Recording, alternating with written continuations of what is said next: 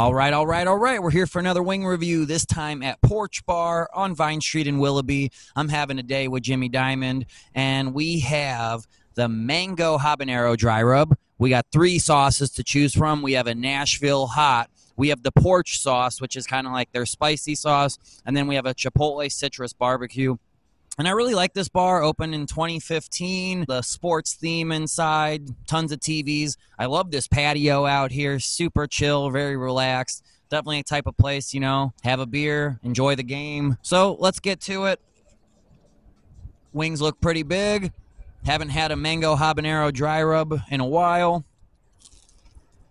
Good flavor. A little sweet, a little spicy, nothing too crazy. Skin's good. Plenty of meat on the bones. So let's give it a whirl here. Let's go with the porch sauce. Let's go with that one. Definitely has a little bit of kick to it. Again, it's one of those slow creeps that just starts to kick, sneak up on you, but good flavor. I like the texture. It's a little thick, a little thin, but nice little combo there. We'll go with the Chipotle Citrus Barbecue. Yeah, I can actually kind of taste a little bit of a lime flavor. And then we'll go over here Nashville hot to end it out.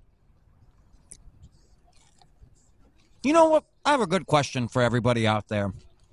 What's the difference between a Nashville hot sauce and like a buffalo hot sauce? What's the difference? Because they kind of taste the same in my opinion.